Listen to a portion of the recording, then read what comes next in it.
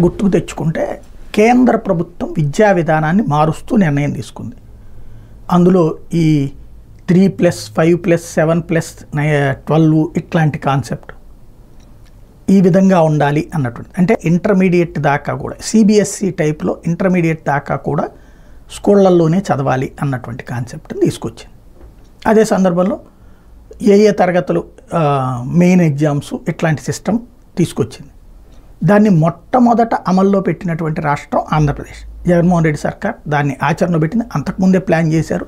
అది కంటిన్యూ చేసుకొచ్చారు. అయితే ఇక్కడున్నటువంటి పరిస్థితుల రీత్యా ఇప్పుడు సిబిఎస్సి రద్దు చేసినటువంటి రాష్ట్ర ప్రభుత్వం ఆ విధానాన్ని కూడా మార్చి మళ్ళీ పాత primary upper primary high school వ్యవస్థ వైపుగా అడుగులు వేస్తోంది.